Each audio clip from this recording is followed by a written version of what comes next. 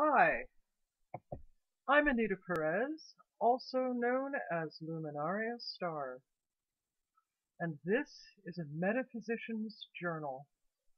Today is January 18th, 2015, and on this day in history, a lot of really interesting things happened.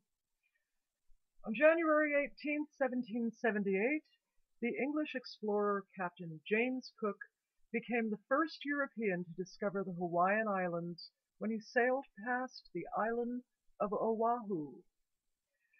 And on this day in 1912, after a two-month ordeal, the expedition of British explorer Robert Scott arrived at the South Pole only to find that Roald Amundsen, the Norwegian explorer, had preceded them by just over a month. And on this day in 1919, in Paris, France, some of the most powerful people in the world met to begin the long, complicated negotiations that would officially mark the end of the First World War and theoretically restore peace to Europe. It was the war to end all wars. Many notable births occurred on this day, including Daniel Webster, the famous author of the dictionary, born in 1782, compiler, I should say, of a dictionary. A. A. Milne, the author of Winnie the Pooh, was born in 1882. Oliver Hardy of Laurel and Hardy was born on this day in 1892. Joseph Bonanno, aka Joey Bananas, born in 1905.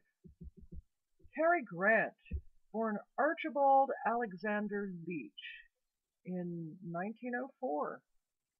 Danny Kaye was born on this day in 1911. And in 1933, Ray Dolby was born. He's the sound engineer who invented the Dolby noise limiting system. In 1944, Larry Legs Smith was born. He's the rocker known as the Urban Spaceman, who was active with the Bonzo Dog Band, a personal favorite of mine. Kevin Costner was born on this day in 1955.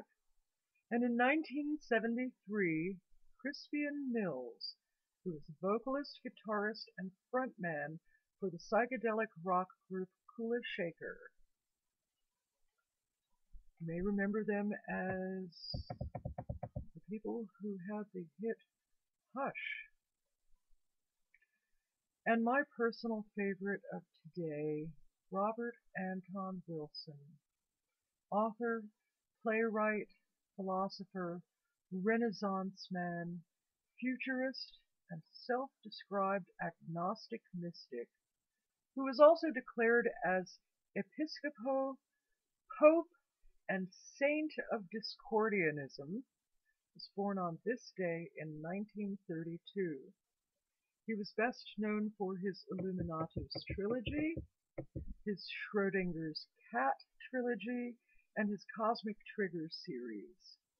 Illuminatus popularized Discordianism and the use of the term Fnord.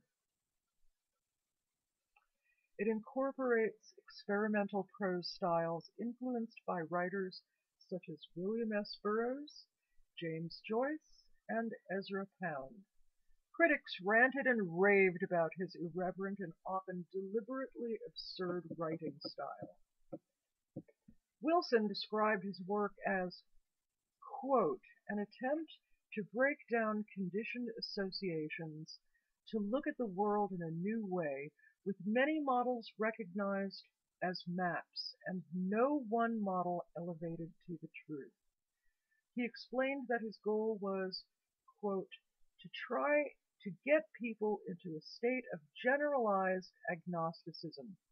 Not agnosticism about God alone, but agnosticism about everything, unquote. He was as hated for this as he was loved. His prose includes some of the most ridiculously gorgeous and yet revolting imagery produced in the twentieth century. Explosions of flowers and nubile goddesses rub shoulders with psychopaths, and entrails falling into buckets of gore. Kali and Cleopatra sit down to lunch with Dillinger and Aleister Crowley, and never is an eyelash turned. Rainbows and maggots and angels, oh my! He rolled the sublime and the profane all together into one smelly, multifoliate world, and that's how he saw it. What he saw he wrote without restraint, without hesitation, with many a tear and a loud guffaw. On January 6, 2007, Wilson wrote on his blog that according to several medical authorities, he would likely only have between two days and two months left to live. He closed this message with, I look forward without dogmatic optimism, but also without dread. I love you all, and I deeply implore you to keep the lasagna flying. Please pardon my levity. I don't see how to take death seriously. It seems absurd. He died peacefully five days later on January 11th. After his cremation, on January 18th, his birthday, and his family held memorial service, also held on the same day. His family scattered most of his ashes at the same spot as his wife's, off the Santa Cruz Beach Boardwalk in Santa Cruz, California. Dear Robert, may the chaos embrace you as gracefully and lovingly as you embraced, embraced it. I leave you with two final thoughts.